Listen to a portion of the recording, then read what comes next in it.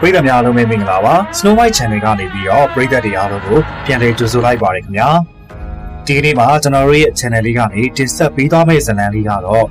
စာရေးသူအကားဆိုရေးသားထားတဲ့ပရပြန်ဦးအောင်ရှိန်နဲ့ရွှေပေါက်ကန်ဆိုတဲ့ဇာတ်လမ်းလေးကိုတင်ဆက်ပေးသွားမှာပဲဖြစ်ပါတယ်တင်ဆက်မှုလေးကိုမစခင်မှာပရိသတ်တွေကကျွန်တော်တို့ရဲ့ channel လေးကို like and subscribe လုပ်ထားပြီးတော့တင်သမျှတွေကိုသိနိုင်အောင်လို့ဘေးနားက notification ဘဲလေးကိုလည်းနှိပ်ထားပေးကြပါအောင်ဗျ ကဲဒါဆိုရင်တော့တင်ဆက်မှုလေးကိုစားလိုက်ကြရအောင်ဗျပြည်မျိုးကိုညဘက်ကြီးရောက်တယ်ဆိုတော့ဇရက်တစ်ခုမှပဲအိတ်လိုက်ကြဗျအဲ့ဒီခေတ်ကတော့ခရီးသွားတွေအတွက်စောက်ထားတဲ့ဇရက်တွေကရွှေစံတော်ဘုရားချင်းနာမှာရှိသေးတယ်ဗျနောက်တနေ့မနေ့ရောက်တဲ့အခါဖိုင်နေဗျမင်းနဲ့ခါနဲ့လေအခုမှပဲတွေ့တော့တယ်ဘေးနားလာထိုင်တဲ့လူကိုကြည့်လိုက်တော့အင်ကြီးအဖြူပစိုးအဖြူဝတ်ထားပြီးတောင်ဝေးတယောက်နဲ့လူတယောက်ဗျာ လူပုံကတော့ခက်တီတီပါပဲဗျာကျုပ်လည်းသူ့ကိုကြည့်လိုက်ရင်လည်းစိတ်တော့မရှိပါနဲ့ဆရာကြီးကျုပ်ခမားနေမသိဘူးဗျာသူကခေါင်းငိန်နေ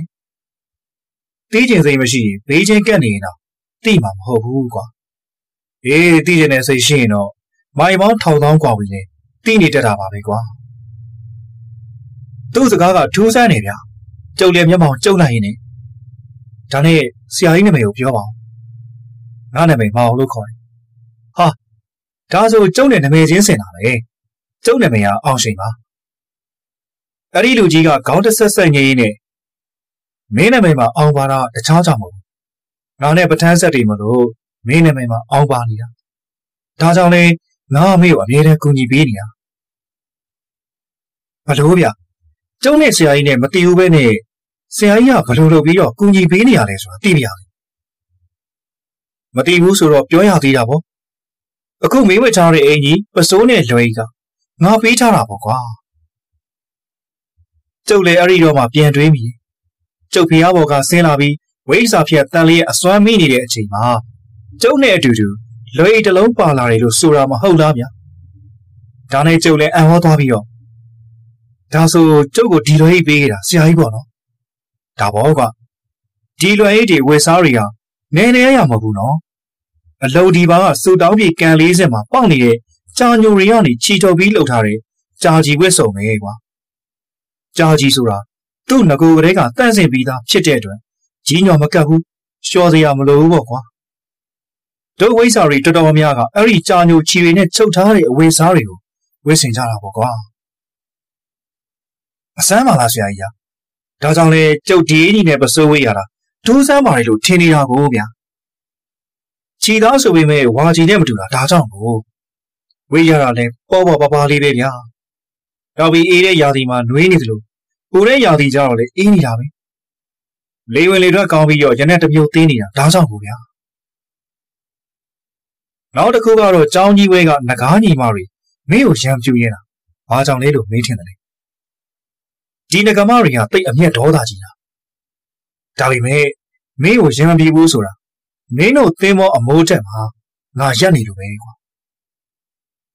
ကျုပ်လည်းအခုမှပြန်တတိရတယ်ဝဲတော်မှုကိုအပိုင်ဆိုးတဲ့နာဂဆန်နီကကျုပ်ကိုစားမယ်တောက်မယ်ဆိုပြီးဆင်းလာတဲ့အချိန်ကိုပေါ့ဗျာအဲ့ဒီရောကသူကဒေါသတကြီးဖြစ်နေပြီမဲ့နောက်တော့တခုခုကိုကြောက်သွားပုံရပြီးတော့ကျုပ်ကိုမစားတော့တာမဟုတ်လားဗျာဒါဆိုအဲ့ဒီအချိန်လေးဟာဆရာကြီးကကျုပ်ကိုကဲရတာပေါ့နော် မင်းမဲအထက်ဝိဇာတွေကဲတင်ကြပါဆိုပြီးတော့အကူအညီတောင်းခဲ့တယ်မဟုတ်လားကွာဒါကြောင့်ငါလာရတာပေါ့ကျေးဇူးတင်ပါတယ်ဆရာကြီးဟာနောက်ဆုံးမင်းစီကိုဖယဖယသိကြီးကိုလွှတ်လိုက်တာငါပဲကွာဗျာအဲ့ဒါတကယ်ပဲလားဝိဇာဖြစ်တန်လေးရဲ့အစွမ်းကိုဖျက်နိုင်တဲ့လူကဖယဖယသိကြီးပဲရှိတာကွာဖယဖယသိကြီးကအဲ့ဒီအချိန်တော့မဟာမြိုင်တောကြီးရဲ့မှာရှောင်းနေရတာငါသူ့ကိုဆေလိုပြီးအကူအညီတောင်းလို့သာ ပြည်မြို့ကိုဆင်းလာတာပဲကွာမဟာမြိုင်တောကြီးနဲ့ပြည်မြို့နဲ့ဆိုတာအဝေးကြီးမဟုတ်လားဗျာဒါတော့သူနီးသူ့ဟန်နဲ့ရအောင်လာတာပေါ့ကွာကဲကဲဘီယာရီပြောနေနေတော့အခုမင်းစီကိုလာရတာကမင်းကိုလမ်းညွှန်ပေးဖို့ပဲကွာကျုပ်လည်းလက်အုပ်ချလိုက်ပြီးတော့လမ်းညွှန်ပြတာပေးအောင်ပါဆရာကြီးဆရာကြီးကခေါင်းညိပြီးတော့ဝိဇ္ဇာမဟာဂန္ဓာကြီးလမ်းစဉ်မှာ ဟောဒီပြည်မျိုးကပဲထူးခြားနေတာမဟုတ်ဘူးပြည်မျိုးကခင်းလန်းအစပဲဖြစ်တယ်ပြည်တော်ဝင်ပြီးပြီဆိုရင်တော့ဒုတိယအဆင့်အနေနဲ့ပြည်တော်ပေါက်ကျင့်စဉ်ကိုလိုက်ရမယ်ပြည်တော်ပေါက်ကျင့်စဉ်နဲ့လားအမေးရှိပါဦးဆရာကြီးပြည်တော်ပေါက်ကျင့်စဉ်ကျင့်ဖို့အတွက်မင်းကပေါက်ကံပြည်ကိုခရီးနေရမယ်ပေါက်ကံပြည်ဆိုတာဘယ်နေရာကိုပြောရလဲဆရာကြီးခုခေတ်လူတွေခေါ်တဲ့ပကံပေါ့ကွာဝိဇ္ဇာလမ်းစဉ်မှာပေါက်ကံပြည်ဆိုတာခြံထားလို့မရတဲ့အောင်မြေတစ်ခုပဲကွာ ပေါက်ကံရာမခေါ်တဲ့အတိုင်းပြည်ကအေယာဝတီမြစ်ရဲ့အရှိဘက်ကမ်းမှာတည်ရှိတယ်ဝိဇ္ဇာလောကမှာပေါက်ပေါက်မြောက်မြောက်ဖြစ်စေဖို့အတွက်ပေါက်ကံပြည်လို့ခေါ်ကြတယ်အဲ့ဒီနေရာမှာရှင်အေးစာခေါင်းနာလိုရှင်မထီးလိုဝိဇ္ဇာကြီးတွေပြေမရေမတွက်နိုင်တဲ့ဝိဇ္ဇာတွေအကျံစီပေါင်းမြောက်အောင်မြင်ခဲ့တဲ့နေရာလေးဖြစ်ပြန်တယ်ကျုပ်တော့တခါမှမကြားဘူးတဲ့အရာတွေမလို့နားဆိုင်ထောင်နေမိပါရောဗျာ။ ပေါကံပြည့်ရှင်အနွယ်ထားမင်းကြီးဆိုတာကလေဒုမြတ်တဲ့ပုံကိုတူးပဲပဲ။အထဝိဇ္ဇာတွေရဲ့အဆောင်မမှုနဲ့တမာတီဝနှကောင်းနှမျက်တွေရဲ့စောက်ရှောက်မှုနဲ့သာသနာပြုခဲ့တဲ့ပုံကိုတူးပဲ။ပေါကံမြေမှာရှင်လေးရှင်နဲ့ပြည့်ငါးပြီဆိုတာရှိတယ်။အဲဒီမှာမင်းကျင့်စဉ်တွေတွားကျင့်ရမယ်။ရှင်လေးရှင်ဆိုတာဘာလို့ပြောပါလဲဆရာကြီး။ပေါကံအောင်ပြီကိုလေးရက်လေးနဲ့ခွဲခြားထားတယ်။ရှင်လေးရှင်ဆိုတာက တူရင်တောင်ထိပ်ကတူရင်တောင်စေးတီတန်းကြီးတောင်ထိပ်ကတန်းကြီးတောင်စေးတီနောက်ပြီးတော့ရွှေစည်းကုန်းစေးတီအေယာဝတီမြေကမ်းကလောကနန္ဒာစေးတီအဲ့ဒီစေးတီလေးစုထဲမှာဆွဲတော်ရှင်တွေထာပနာထားလို့ရှင်လေးရှင်တို့ခေါ်တာပဲကျုပ်တေချာမှတ်သားထားပါပြီဆရာကြီးရှင်လေးရှင်ကိုလူသိများပြီမဲ့ပြည်ငါးပြည်ကိုတော့လူသိမသိကြဘူးပြည်ငါးပြည်ဆိုတာကတော့စူတောင်းပြည်တဲ့ဘုရားငါးစုကိုပြောတာဖြစ်တယ် အဲ့ဒီဘုရားဆင်းတုတော်တွေကိုအနောယထာမင်းကဝိဇ္ဇာတွေအကူအညီနဲ့ထုံးစစ်လှူဒန်းခဲ့တာပဲဒါကြောင့်ဒီဆင်းတုတွေကတာမန်လူတွေအတွက်စူတောင်းပြည့်ယုံတာမကဝိဇ္ဇာတွေအတွက်တော့အောင်တက်ကိန်းနဲ့ဘုရားဆင်းတုတွေဖြစ်တယ်မူလကပြည့်ဘုရားကိုးစုရှိရဆိုပေမဲ့နောက်ပိုင်းလူတွေတီလာပြက်လာကြတဲ့ကဝိဇ္ဇာတွေကဘုရားကိုးစုလုံးကိုလူတွေမမြင်တွေ့နိုင်အောင်꿰ပစ်ဖို့စီစဉ်ခဲ့ကြတယ်ဒါပေမဲ့ နောက်လာနောက်သားဝိဇ္ဇာဖြင့်အားထုတ်မဲ့လူတွေအခက်အခဲဖြစ်မှာဆိုလို့တကိုးကြီးတဲ့ဖျားလေးစုကို꿰ပြပြီးတော့ဖျားငါးစုကိုခြံထားခဲ့တယ်။အဲ့ဒီဖျားတွေကဘယ်မှာရှိရပါလဲ။ဓမ္မရာဇီကဖျားမှာနှစ်စုရွှေဆန်တော်ဖျားမှာတစ်စုလောကနန္ဒာဖျားမှာတစ်စုတာမဏီဖျားမှာတစ်စုစုစုပေါင်း၅စုရှိတယ်။ဒါတော့တော့ဆရာကြီးရဲ့ဒါမဲ့ပကံမှာဖျားဆိုတဲ့စာတိုင်းဖျားစင်းတူတွေအများကြီးရှိရမလား။ ဒီပြင်းငါးပြည့်ဖျားဆင်းတွေကိုကျုပ်ကဘယ်လိုလုပ်ပြီးတော့လိုက်ရှာမှာလဲဆရာကြီးကခေါင်းခါပြပြီးတော့ဒီဖျားဆင်းတွေကတေးသေးချာချာကြည့်လိုက်မယ်ဆိုရင်တခြားဖျားဆင်းတွေနဲ့မတူဘူးကွာသူ့ရဲ့ထူးခြားချက်တွေငါပြောပြမယ်အဲ့ဒီဆူတောင်းပြဖျားတွေအားလုံးကတင်မြေခွေထိုင်ထားပြီးတော့ခြေပေါ်အားတွေကိုအချက်လန်ထားကြတယ်နောက်ပြီးတော့အဲ့ဒီဆင်းတူတော်တွေရဲ့လက်တော်ခြေတော်တွေမှာလည်းဆက်လက္ခဏာတွေဝေတော်တွေ အရေးအကြောင်းတွေထင်ထင်ရှားရှားပါနေတတ်တယ်။နောက်တစ်ခုကတော့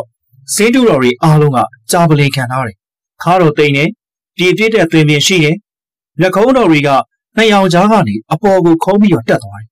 ။အုံနှလုံးမွေရှင်တော်ကိုအထက်မှာကြာဘူးပုံစံလုံးလုံးမမကတ်ထားတယ်။အထူးစားဆုံးကတော့ဒီဆူတောင်းပြေဖျားတွေအားလုံးက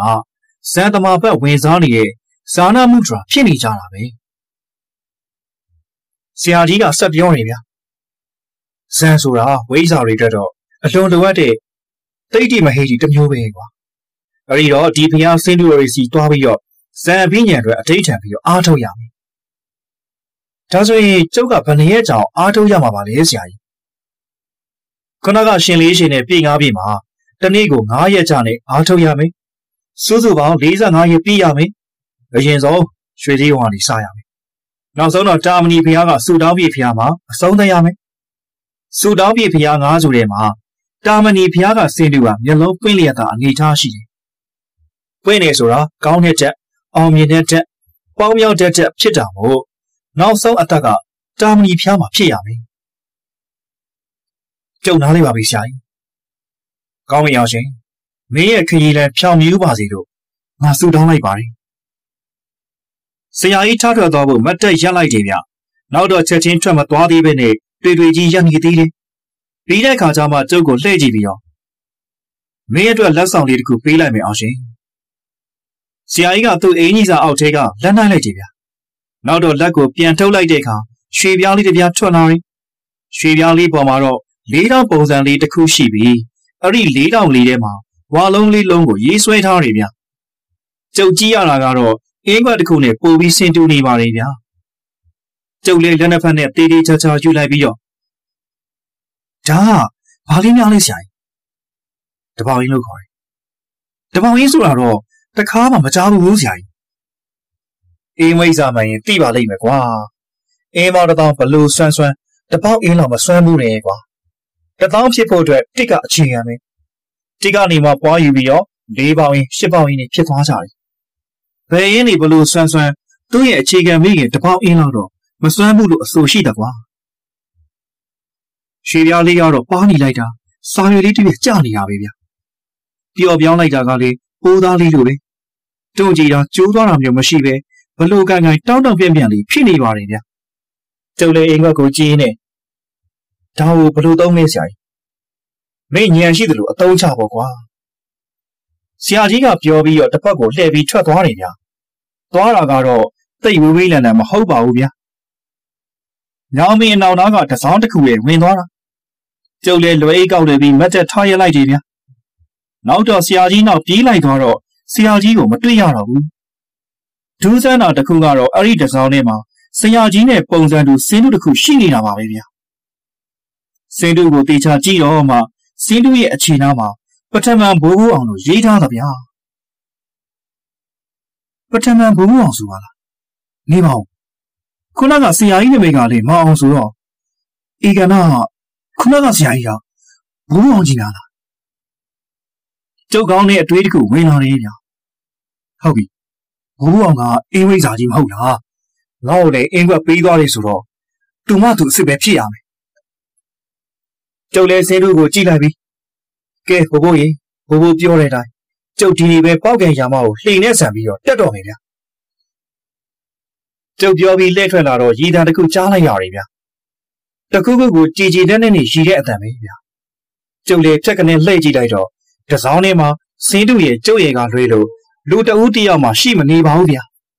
ဒါနဲ့ကျုပ်လည်းဖျားဘော်ကနေခက်မြက်မြက်ဆင်းခဲ့တယ်ဆိုပါတော့ဒီလိုနဲ့ညောင်ဦးမြို့ကိုရောက်ခဲ့ပြန်လာပေါ့ဗျာ လေစိတ်ကဆင်းလိုက်တော့ညအတော်မိုးချုပ်နေပြီဗျာညောင်ဦးလေစိတ်မှာမဆင်းမဲရွှေကြီးကုံဖျားနဲ့နီးရလှေစိတ်မှာဆင်းလိုက်တာပါလှေစိတ်ကတက်လာတော့ရက်ွက်တစ်ခုလေးကိုရောက်တယ်ဗျာညမောင်ကြီးဝိုးတော်မှာရွှေရောင်ဝင်းနေတဲ့ရွှေကြီးကုံစီရီကြီးကိုဖူးထွေးလိုက်ရပါသေးတယ်ဒါပေမဲ့အချိန်ကအတော်နောက်ကျနေပြီမလို့နောက်နေ့မှသွားတော်မေလို့စိတ်ကူးပြီးတော့တဲကိုကိုနေရရှာဖို့အတွက်ရက်ွက်တွေကိုဖြတ်လာခဲ့လိုက်ကြတယ် ကျုပ်ဖြတ်လာတော့ရက်ွက်ထဲကလူတွေကစူယုံစူယုံနဲ့တဏှာကိုပြေးနေဗျာတချို့အိမ်တွေကလူတွေလည်းထွက်လာပြီးတော့ပြေးလွှားနေကြတယ်ကျုပ်လည်းသိကျင်သွားတာနဲ့ပြေးနေတဲ့မိန်းကလေးတယောက်ကိုလှမ်းခေါ်ပြီးတော့ခလေးပါလူတွေပြေးလွှားနေပါလားဘာတွေဖြစ်နေကြလဲမိန်းကလေးကကျုပ်ကိုတီးတီးချာချာကြည့်ပြီးတော့မပန်းမွေကိုပယောကထုတ်နေတာလေဦးလေးရဲ့ဩဒါကြောင့်ကို မပန်းမွေကိုပယောကစီက9ယောက်တိတိရှိပြီပယောကထုတ်တာမရဘူးလေအခုတည်းရောစွမ်းမလားဆိုတာသွားကြည့်မလို့ကြောက်ပြောက်ဆူဆူနဲ့မိန်းကလေးကပြေးသွားတယ်ဗျာကျုပ်လည်းပါရင်မဟုတ်ဘူးစိတ်ထဲတီးကျင်လာတဲ့သူတို့နောက်ကိုလိုက်ခဲ့ပါရောဗျာဝလုံးနေနဲ့အဖြစ်ကာထားတဲ့ခြံစည်းရိုးရိုင်းနေတဲ့လေထဲမှာနေဆိုင်တဲလီတဲရှိတယ်အဲ့ဒီခြံထဲမှာတော့လူတွေအုံခဲနေရပါပဲ လူတွေကတဲရှိမှရောတဲကောင်းရဲ့ဘက်ကနေရာတွေမှာပါအုံခဲပြီးတော့အထဲကိုဝိုင်းကြည့်နေကြတယ်ကျုပ်တော်မှဘာဖြစ်မှမမြင်ရပါဘူးဗျာကျဲဝဲပုံစားပုံတီးတော့ရွာသားတွေကနေရာဖယ်ပေးကြရင်နောက်ဆုံးပတင်းပေါင်သားကိုရောက်သွားတော့တယ်မြေဆိုင်တဲလေးရဲ့အိမ်ဦးကန်းကျမ်းပြင်မှာမိန်းကလေးတယောက်ငုတ်တုတ်ထိုင်နေတယ်ဗျာမိန်းကလေးကတော့အသက်ခက်ငယ်ငယ်20ကျော်လောက်ပဲထင်ရပါတယ်ခက်ဝဝဖိုင်ဖိုင်နေပါ သူကဇက်ကြိုးပြီးတော့ခေါင်းငုပ်ပြီးထိုင်နေတယ်သူ့အရှိမထိုင်နေတဲ့လူကတော့ရှမ်းအင်းကြီးဝတ်ထားတဲ့လူကြီးကခေါင်းပေါင်းနဲ့ဘာနဲ့ဆိုတော့ဆရာပုံစံပါပဲသူကပန်းမွေးလို့ခေါ်တဲ့ကလေးမကိုလက်ညှိုးထွေးနေတဲ့ငါဆရာတယောက်လုံးရှိမှာမင်းကမခံလေးသားလှုပ်ချင်နေပေါ့ဟုတ်လားခေါင်းမော်စံပယောကကုတ်နေပေမဲ့သူ့မှာအချက်လန်းဆရာတွေလိုပစ္စည်းတွေမပါပုံထောက်တော့အထံတန်းမဟုတ်တဲ့လူတစ်ယောက်လို့တော့ကျုပ်ကသိလိုက်ပါတယ် ဒီလူပြောပေမဲ့ပန်းမွေးကခေါင်းငုံချရင်တဟီဟီနဲ့ရင်းနေရများရှမ်းစီယာကြီးကဒေါသထွက်သွားတာပေါ့အမေငါပြောနေရတော့ရီနိုင်သေးတယ်ပေါ့ကဲစောင်းချက်ဒီဒီကောင်မလေးကိုချုပ်လိုက်ကြတခြားသူတွေမြင်ရမလားမမြင်ရမလားတော့မသိပေမဲ့ကျုပ်ကတော့မဲမဲကြီးလေးကောင်ကရှမ်းစီယာရဲ့လွယ်အိတ်ထဲကနေတိုးထွက်သွားတာကိုတွေ့လိုက်ရတာဗျာလူတယောက်နီးနီးရှိတဲ့အကောင်ကြီးတွေပါဗျာ အစိမ်းသေးတွေလိုတော့ထင်တာပါပဲလူပုံစံတော့မထင်မရှားပဲဗျာပန်းမွေးဆိုတဲ့မိန်းလေးရဲ့ခြေရီလက်တွေကိုတရေတွေကအတင်းဆွဲနေတော့တာပဲဗျာဒီအချိန်ပန်းမွေးကဘာမပြောညာမပြောနဲ့တရေတကောင်ကိုလက်နဲ့ပုတ်တက်လိုက်တာအဲ့ဒီတရေကနှင်းထွက်သွားတယ်ဗျာကျန်တဲ့တရေတွေအနားကပ်လာတော့လေလက်သေးတွေနဲ့ထုလက်ဝါးတွေနဲ့ပုတ်ပဲဗျာတရေလေးကောင်ကတက်ဆုပ်ပြီးတော့ပြန်လှည့်သွားကြတယ်ပန်းမွေးကရီမောရင်းနဲ့ နင့်တရေတွေလောက်တော့ငါပြင်းအောင်ပြင်းသေးတယ်အောင်လန်းကောင်ရဲ့ဒီလိုထပြောတော့ရှမ်းစီယာကြီးကရှူးရှူးရှဲရှဲနဲ့ဒေါသထွက်သွားပါရောဗျာဒါနဲ့သူ့အိတ်ထဲကနေတကူးကိုနှိုက်လိုက်တယ်ဗျာလက်သီးစုပ်ကိုဖြေပြလိုက်တော့လက်သီးထဲမှာရှီမျောမျောဆေးကြောင်တွေတော့ပါလာတယ်လူရီအားလုံးကတော့စိတ်လှုပ်ရှားပြီးကြည်နေကြပါရောခမရတို့လူနာကိုချုပ်ထားကြဟောဒီမကောင်းဆိုးဝါးနေတဲ့ဆေးတောင်ကို သူ့ဘက်ဆက်တိုက်ရမယ်အဲဒီလိုပြောတော့အနားမှာထိုင်နေတဲ့ရွာသား၃-၄ယောက်ကပန်းမွေးလက်ပေါင်းတွေကိုစုပ်ကန်ပြီးတော့ချုပ်ထားကြတယ်။သူတို့ချုပ်တာငြိမ်းပြီးဆိုတော့မှရှမ်းစီယာကထလာပြီးတော့လက်ဝါးတွေကဆေးလုံးကိုကန်ပြီးပန်းမွေးရဲ့စပိန်တွေကိုဆွဲပြီးခေါင်းကိုထောင်မွန်းလိုက်ခြင်း။ဒီအခါပန်းမွေးကရှမ်းစီယာကိုမျက်တောင်နေခြင်းနဲ့ကြည်ပြီးတော့ရီပါလီရောဗျာ။ကြည်နေတဲ့အချိန်မှာပဲပန်းမွေးကလက်ကိုယုံတက်လိုက်တာ ရွာသားတွေချုပ်ထားတဲ့သူ့ရဲ့လက်ကလွတ်သွားတယ်ဗျာ။အရီလက်နဲ့ရှမ်းစီယာရဲ့နံကြားကိုပုတ်ထလိုက်တယ်ဗျာ။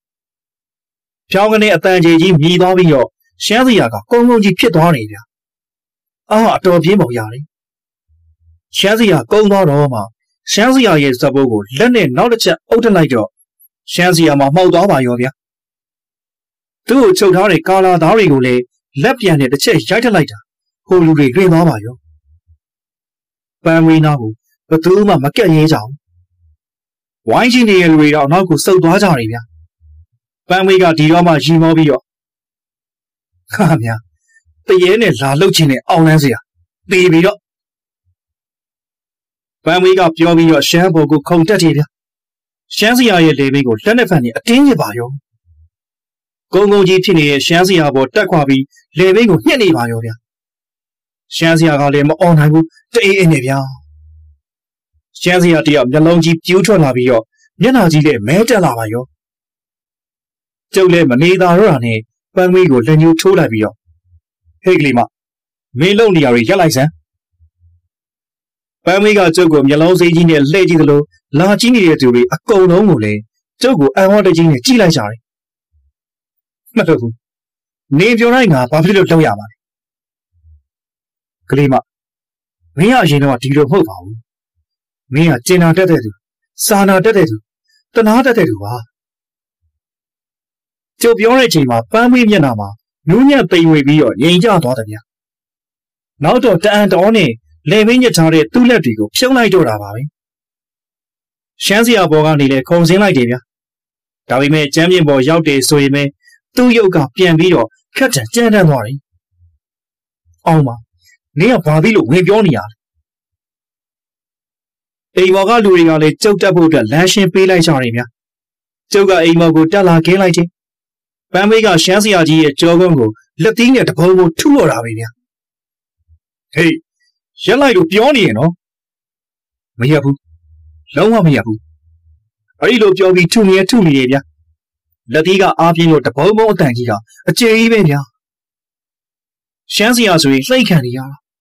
ကျုပ်အကဲကလိုက်တော့ပန်းမွေးဆိုတဲ့မိန်းကလေးရဲ့ကိုယ်ထဲမှာမကောင်းဆိုးဝါးတကောင်ရှိနေတဲ့ပုံပဲဗျာအဲ့ဒီမကောင်းဆိုးကပန်းမွေးကိုပူးကြည့်ကက်ကြည့်လုံနေပုံပါပဲကျုပ်အကဲကပ်မိသွားတဲ့ပန်းမွေးမျက်နှာကိုကြည့်ပြီးမြစ်တာပို့ပေးနေပြီလေပါဇက်ကလည်းမင်းကလေးပန်းမွေးမင်းလုံနေရတွေကိုရက်တက်လိုက်ပါကွယ်ခုနကအတိုင်းပဲပန်းမွေးကတစ်ချက်ငြိမ်ကျသွားပြီးတော့ရက်သွားနေဗျ ရှမ်းဆရာကြီးကလည်းကုန်းယုံထပြီးတော့ကျုပ်အနောက်မှာလာပုံးနေဆရာကြီးကျုပ်ကိုကဲပါဦးညာကျုပ်လည်းမပူဖို့လက်ကပြလိုက်တော့ပန်းမွေးကကျုပ်ကိုကြည့်ရင်ဒီမှာဘာဘာရင်းဖြစ်နေတာဒီအချိန်မှာပဲပန်းမွေးကိုလုံးကိုတယောက်ယောက်ကအနောက်ကနေတွန်းလိုက်တယ်လို့အင်ကနေဖြစ်သွားပြီးတော့ပန်းမွေးတယောက်ပြန်ပြီးကြမ်းတမ်းသွားတော့တာပဲဗျာကျုပ်ကိုလက်ညှိုးထိုးပြီးတော့ဟေးနင်တို့ဘာကောင်းဖြစ်ဖြစ်ငါဂရုမဆိုင်ဘူး နေမှာတေးရမယ်ကောင်းကြီး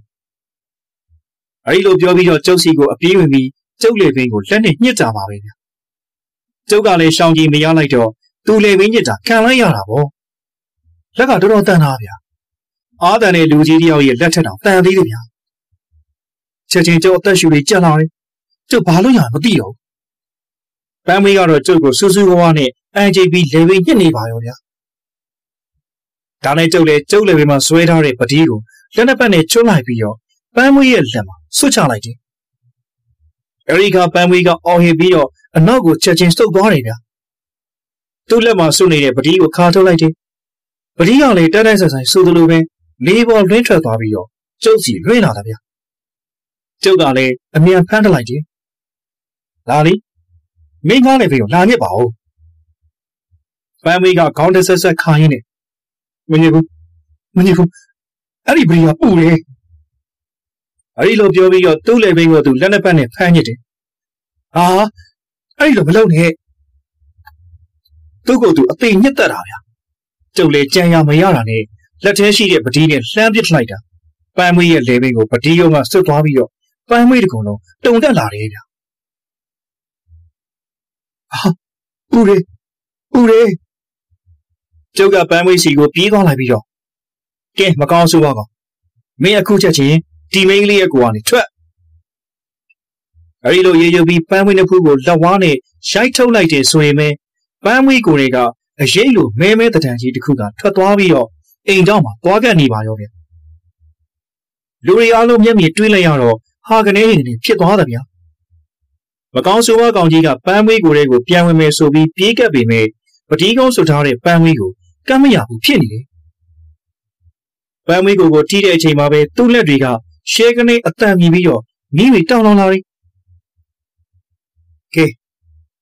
မင်းကဘာလို့ဒီကောင်မလေးကိုလှုံးရလဲကျုပ်မုန်းနေကျုပ်သူ့ကိုတတ်ချင်တယ်သူတို့သားမီးကကျုပ်နေတဲ့တစ်ပင်ရောက်မှာအနစ်ကြီးတွေလာလောက်တယ်ကျုပ်လည်းခေါင်းညှိပြီးတော့ကောင်းပြီဒီကလေးမကိုအဲ့ဒီနေရာမှာပြန်တန့်စင်ခါလိုက်ပြီးတော့သူတို့သားမီးကိုလည်းတောင်းပန်ခါလိုက် တောင်းပန်ရုံနဲ့မကြည့်နိုင်ဘူးဒင်းတို့ကိုတတ်ရမှာကြည်ရမယ်ကောင်းကောင်းပြောလို့တော့မရတော့ဘူးဗျာဒါနဲ့ကျုပ်လည်း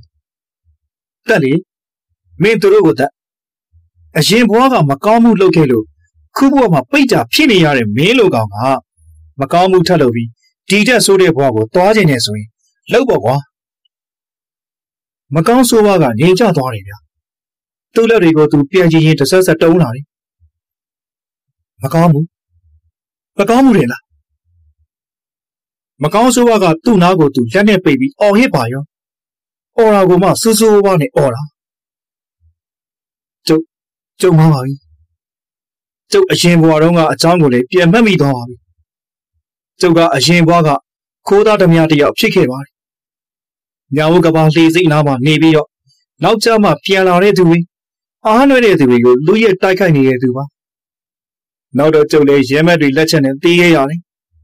အခုကျုပ်ကရေချိုးစိတ်အစုံသားကတင့်မင်းကြီးမှာနေပါတယ်ကျုပ်ဘဝကစင်းရဲပါတယ်အစားတောက်လည်းကောင်းကောင်းမစားရကျုပ်အစားတောက်တွေရပြီဆိုရင်လည်းဘယ်ကမှမသိတဲ့လူတွေကလာလာပြီးတော့လူယူသွားပါတယ်မင်းအရင်ကလှုပ်ခဲ့တဲ့အာကုသူအကျိုးတရားတွေပေါ့ကွာကျုပ်မမသိပါဘူးဆရာကြီး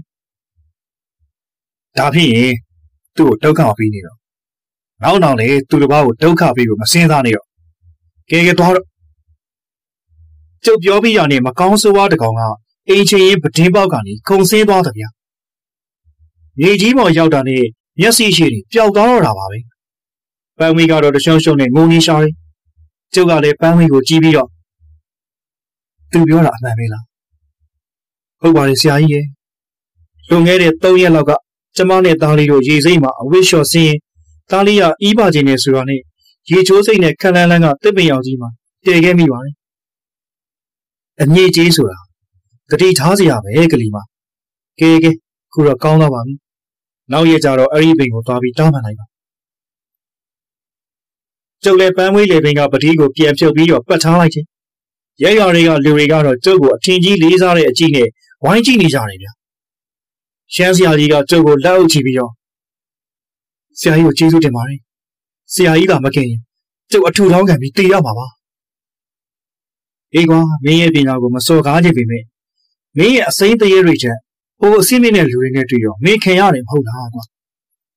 ဒါဆိုတင်ရန်းစာယူပြီးတော့နောက်ဆိုစင်ကြယ်စေခြင်းနဲ့ကွဟုတ်ကဲ့ပါဆရာကြီးကျုပ်သဘောပေါက်ပါပြီ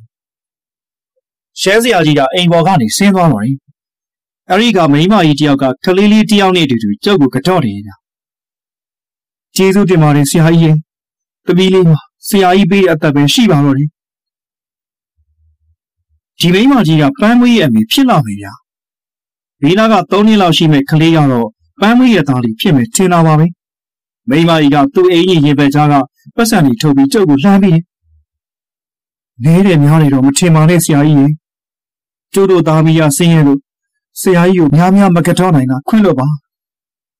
ကျုပ်လည်းလက်ကပြလိုက်ပြီးတော့မလို့ပါဘူးကျုပ်ကူနေနေဆိုတာလူတယောက်ဒုက္ခရောက်နေတာတွေ့လို့ကူညီပေးတာပါဝေးတတ်မဟုတ်ပါမိမကြီးကတော်တော်ကျေးဇူးတင်သွားတဲ့ပုံပဲဒါနဲ့ဆရာကြီးကိုမြင်ဘူးပါလားဆရာကြီးကဘယ်ဟာကြွလာပါလဲကျုပ်ပြေးရနေလာခဲ့တာပကံမှာကျင်းတယ်တကူကျင်းဖို့ရှိလို့လာခဲ့တာဒါဆိုရင်ဆရာကြီးကမှတင်မယ်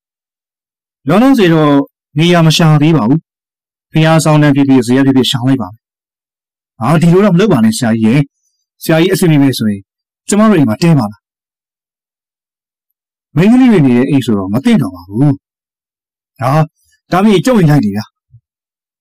ဝိုင်းကြီးနေတဲ့ထဲကလူကြီးတယောက်ကအရှိတိုးလာတယ်ဗျာကျုပ်အိမ်မှာကျုပ်ရဲ့အဖကြီးနှစ်ယောက်ပဲရှိတာဘာမှအစိုးရိမ်ဆောင်မလုပ်ပါဘူးဆရာကြီးဆရာကြီးနေချင်းတစ်သက်လုံးနေလို့ရပါ တစ်သက်လုံးတော့မဟုတ်ပါဘူးဗျာတစ်ဖက်လောက်ပါပဲခမရတို့အဆင်ပြေဆိုပြီးရပါမယ်အရက်သေးကလူတွေကလည်းအဲ့ဒီလူရဲ့အိမ်မှာလိုက်တဲဖို့ပြောတာနဲ့ကျုပ်လည်းအဲ့ဒီလူရဲ့နောက်ကိုလိုက်သွားမိရဲ့ဗျာလူရဲ့ရဲ့အိမ်ကတခြားအိမ်တွေနဲ့ခလန်းလာမှရှိရပါဗျာအိမ်ရဲ့နောက်မှာတော့တတွင်တွင်စီးစင်းနေတဲ့အေယာဝတီမြစ်ကြီးကိုမြင်တွေ့ရတာဗျာတဲအိမ်လေးရဲ့ဘေးဘက်နားမှာတော့တင်းကုတ်တစ်ခုရှိတယ်တေချာကြည့်လိုက်တော့မှအထဲမှာမြေးတဲ့ကောင်ငွေးချနာကိုတွေ့ရပြန်တယ် ဆရာကြီးအဟောသွားတာဗျာကျုပ်ကမြင်းနေသမားပါပကံဖျားတွေစီမြင်းလဲမောင်းပြီးပို့ရင်အသက်မွေးပါနဲ့ဟောကောင်းပါလေမောင်ရင်ဒါနဲ့မောင်ရင်နာမည်ကဘယ်လိုခေါ်တယ်လဲကျုံနာမည်ရင်ကတော့ထွန်းတင်နေဗျာဒါမဲ့ပေါက်ချိုင်းဆိုရင်မသိတဲ့သူမရှိဘူးဗျာပေါက်ချိုင်းဆိုပါလားတကောင်းကြီးကသူရဲကောင်းနာမည်ပဲနာမည်ကတော့ဆန်းပဲဟေးအဲ့ဒါကျုပ်နာမည်မဟုတ်ဘူးဆရာကြီးက ကျုပ်သားကြီးနာမည်ဗျအလိုမောင်ရင်ပြောတော့အပိုင်းကြီးတယောက်နဲ့နေတာဆိုကွာဘယ်နဲ့သားရှိတာတော့ထိုးနေကပြောရင်းနဲ့သားဆိုတာကျုံမွေးထားတဲ့မင်းကိုပြောတာပါဗျာရင်းနာမည်ကိုကိုပေါချိုင်းလို့ပေးရတာကိုဆရာကြီးရဲ့ဒီရွှေစည်းကုန်တဲ့ကြောမှာပေါချိုင်းမင်းလဲဆိုရင်မသိရလို့မရှိသလောက်ပါပဲဗျာတဲရီလေးပေါ်ကိုတက်သွားကြတော့တဲရီအရှိကန်ဖျားစီအောင်မှာအပါကြီးတယောက်က ဖျားရှိခိုးနေတယ်ဗျာအတန်အကျေကြီးနဲ့ဖျားရှိခိုးနေတာပါကျုပ်လည်းသူ့ကိုမနှောက်ယှက်ချင်တာနဲ့တဏှာမှာအသာထိုင်နေလိုက်တယ်ဒီလူကြီးကဖျားရှိခိုးပြီးတော့တစ်ဖက်ကိုလှင်းလိုက်တော့မှကျုပ်လည်းသာဓုသာဓုသာဓုဖျားတရားကိုင်းဆိုင်တဲ့သူနဲ့တွေ့ရတာဝမ်းသာစရာပါပဲအပါကြီးကကျုပ်ကိုမျက်လုံးပြူးမျက်စံပြူးနဲ့ကြီးနေမင်းမတူလေမင်းငါတို့အိမ်ကိုဘာလုပ်တာလဲထွက်သွားမင်းထွက်သွားကျုပ်ကြီးအံ့ဩနေပြီလေ ကိုပေါချိုင်းကအိမ်တော်ဖေးဘက်ကနေပြေးထွက်လာရင်အဖလေဗျာဒီဆရာကြီးကသူတော်ကောင်းကြီးပါဗျာပကံကိုကြည့်နေလာတာအိမ်မှာတပတ်တော့တဲပါဗျာအဖကြီးကကိုပေါချိုင်းကိုကြည့်နေပေါချိုင်းမင်းကတော့ရှုပ်ရှုပ်ချက်ချက်တီလှုပ်လာပြန်ပြီကွာမရှုပ်ပါဘူးဗျာသူရှိနေတော့အဖကတော့အဖော်ရသေးတာပေါ့အဖကြီးကကျုပ်ကိုဘာမှပြောပေမျက်စောင်းထိုးကြည့်ပြီးတော့အိမ်ရန်လေးကိုဝင်သွားတော့နေဗျာ ကျုပ်လည်းထူးထူးဆန်းဆန်းနဲ့သူ့ကိုကြည့်နေမိရော်တယ်ထထူးကတော့ထူးနေဗျအဲ့ဒီပါတီကိုမြင်လာတဲ့ကျုပ်စိတ်ထဲမှာတမျိုးကြီးပဲဗျာဘာဖြစ်လို့ဖြစ်နေမှန်းကိုမသိတော့ဘူးပရိသတ်များခင်ဗျအခုတင်ဆက်ပေးတဲ့ဇာတ်လမ်းလေးကတော့စာရေးသူအကဆိုရေးသားထားတဲ့ဖျက်ပြဦးအောင်ရှင်နဲ့ရွှေပေါက်ကန်ဆိုတဲ့ဇာတ်လမ်းလေးကိုတင်ဆက်ပေးခဲ့တာပဲဖြစ်ပါတယ်ဒီကနေ့မှာတင်ဆက်ပေးရတဲ့ဇာတ်လမ်းလေးကိုပရိသတ်တွေကကြားညစ်တတ်မယ်လို့မျှော်လင့်ပါတယ်ဗျ နောက်နေ့နောက်ရက်ဒီမှာလည်းကျွန်တော်တို့ရဲ့ channel လေးကနေဒီလိုမျိုးစိတ်ဝင်စားစရာကောင်းတဲ့ဇာတ်လမ်းလေးတွေကိုတင်ဆက်ပေးတော့မှာပဲဖြစ်ပါတယ်နောက်ဆက်ပေးခဲ့ကြတဲ့ပရိသတ်တဦးတယောက်ချင်းစီကိုလည်းအထူးကြီးကျေးဇူးတင်ရှိပါတယ်ဗျဒီကနေ့ရဲ့ဇာတ်လမ်းလေးကိုတင်ဆက်ပေးရတဲ့သူကတော့ကျွန်တော်ကိုခန့်ပဲဖြစ်ပါတယ်ခင်ဗျာ